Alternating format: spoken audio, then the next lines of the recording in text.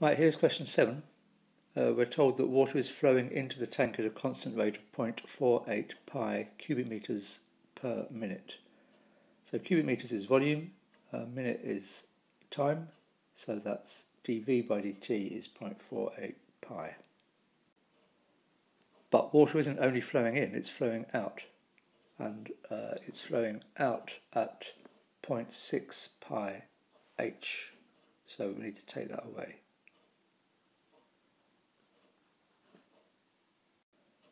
Now the volume of water in the tank is uh, pi r squared times h. That's, that's 9 pi h. So dV by dH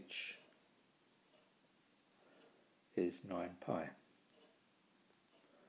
Now their formula's got dH by dt in it. So dH by dt is dH by dt Let's put some dV's in there to cancel things out. So that's 1 over 9 pi. Uh, dH by dV is 1 over 9 pi. And dV by dt is uh, 0.48 pi minus 0.6 pi h. So dH by dt, let's uh, get rid of those pesky pi's, 0.48 minus 0.6h over 9. Now, for some reason, they've got 75 on the left-hand side. So how many nines are there in 75? 8 nines is 72, so it's 8 and a third. So times everything by 8 and 1 third. And we get 75 dH by dt.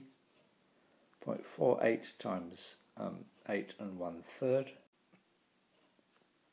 Uh, that's 4.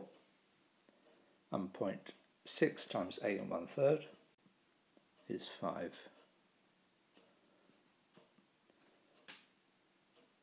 Uh, as required. So we need to put in there as required. I haven't quite got room to put that in. There we go.